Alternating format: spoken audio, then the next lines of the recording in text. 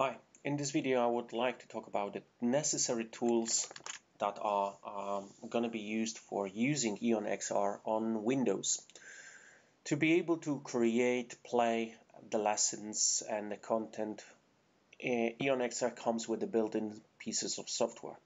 The software is available throughout the profile icon and download section. So this is the, the area where you can find the necessary tools and I'm going to focus right now on Windows and the next video I'll focus on Mac.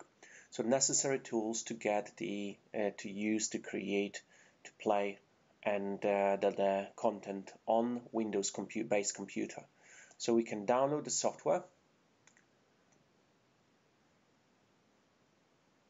I'll put it onto the desktop.